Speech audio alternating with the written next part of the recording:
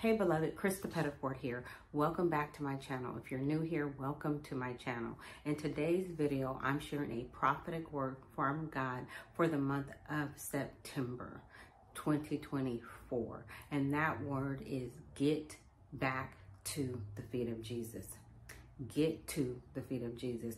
And why? Because in this season, in this time, at this juncture, you need to hear God for yourself in this season. And where do you hear God most?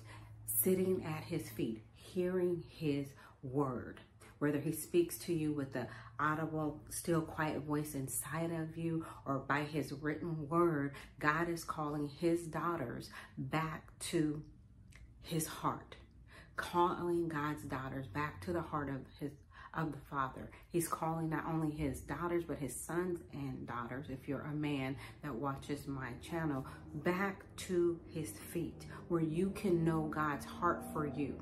Oftentimes we or this generation goes to other people. There are people with itching ears and there are just as many people who um, believe they have a word from God that would like to prophesy to you. The problem with that is that people prophesy out of their own soul. That's what the Bible calls it. And so God has something to speak to you for you, about you, to direct you, to correct you, and to instruct you in this season for the new season that is upon us. If you follow the biblical, Hebraic, or Jewish calendar, whatever you want to call it, the new year 5785 is coming up um, in the beginning of October. I think it's October 4th. And so as I've been praying and seeking God, as you'll notice from my video last week, the Lord has just told me to unbusy myself and quiet myself and share my 28 day lifestyle reset with people on my channel and through my email and wherever you find me, you can download that for free. And a lifestyle is a habit, the rituals, the things that people do, um, their routine, that they live by, a group of people or a person. And so God is calling us back to the feet of Jesus to make our habit and our routine centered around him to put him first. And so I want to get into this word and I want to encourage you to get back to the feet of Jesus. There's a lot of things that God wants to share with his people individually and corporately.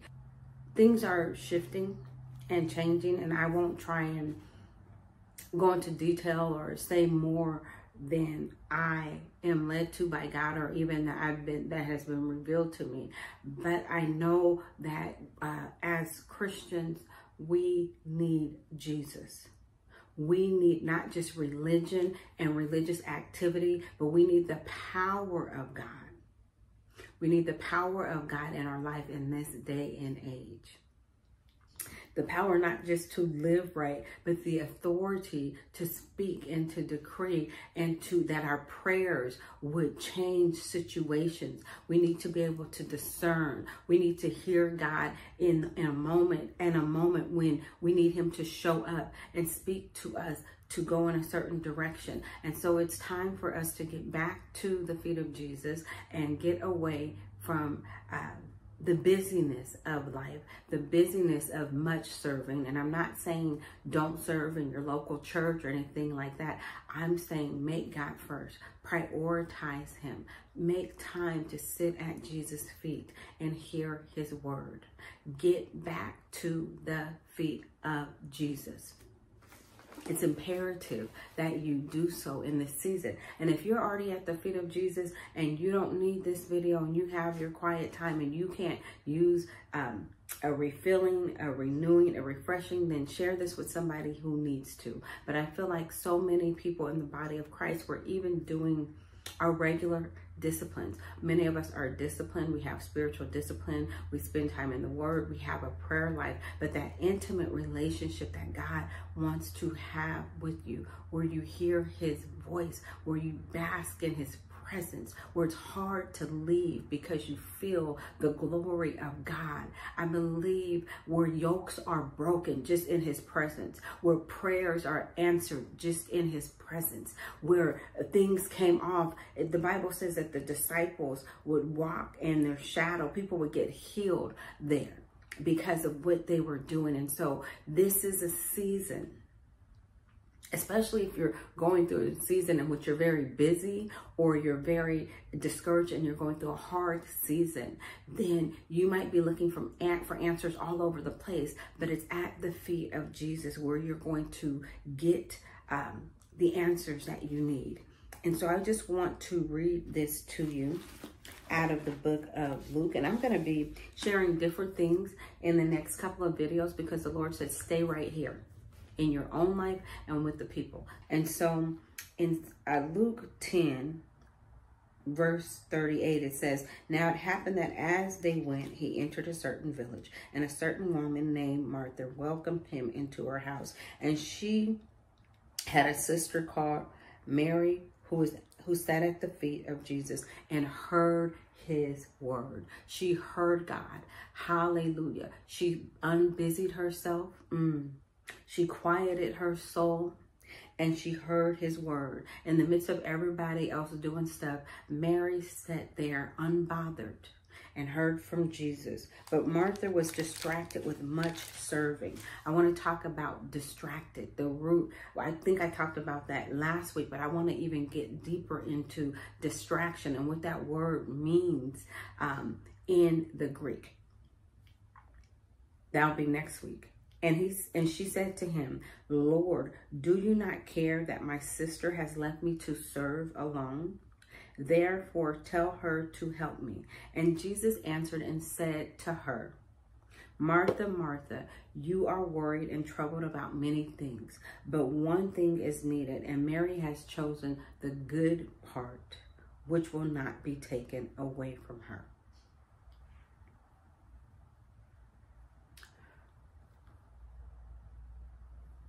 Here we are, and she, Jesus says Mary has chosen the good part, which will not be taken away from her, to sit at his feet and hear his word. She has chosen, she has made a choice. She has chosen what mattered to sit at Jesus' feet and hear his word. And what I found is that when you sit at Jesus' feet and hear his word, he comes in and he fills you with his presence and he makes his grace